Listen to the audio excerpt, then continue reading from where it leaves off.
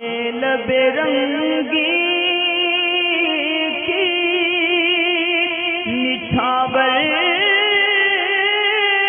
تھی کہ جس نے ایک اسلامی بہن نے یہ پوچھا تھا کہ کام وغیرہ گھر کے نپٹانے کی وجہ سے جو ہے تھکن زیادہ ہو جاتی ہے، رات کو گیارہ بارہ بجے تک فری ہوتے ہیں اور پھر شہری میں جگنا ہوتا ہے اور تراوی چھوڑ بھی نہیں سکتے، تو ایسی صورت میں کہ تراوی کو بیٹھ کے پڑھ سکتے ہیں یعنی اتنی تھکان ہو۔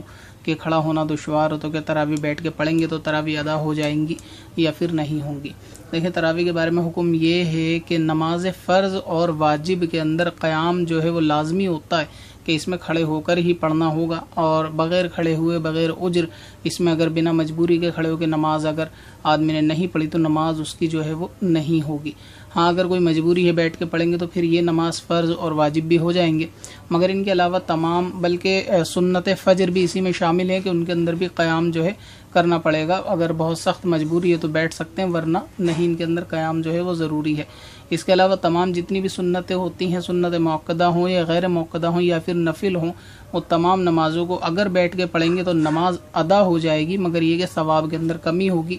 تو اسی طریقے سے حکم تراوی کا ہے کہ اگر آپ تراوی کی نماز کو بیٹھ کر پڑھیں گے بلا مجبوری اور ایسی تھکن وغیرہ کی وجہ سے، تو تراوی تو ادا ہو جائے گی، مگر شریعت نے اس کو ناپسندیدہ رکھا ہے، مکرو رکھا ہے کہ بے وجہ تراوی کو بیٹھ کے نہ پڑھا جائے۔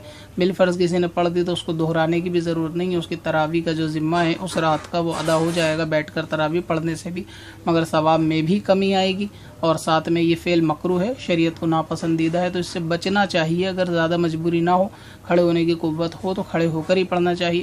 ورنہ ایک صورت حال یہ اختیار کر لے کہ اگر ساری کھڑے ہو کے نہیں پڑھ سکتے، بہت زیادہ تھکن ہے یا نیند کا غلبہ ہے یا تراوی چھوٹنے کا خوف ہو تو جتنی کھڑے ہو کے پڑھ سکتے ہیں، اتنی کھڑے ہو کے پڑھیں، پھر باقی وہ بیٹھ کے پڑھ سکتے ہیں، اس طرح گنجائش اس میں ہو سکتی ہے۔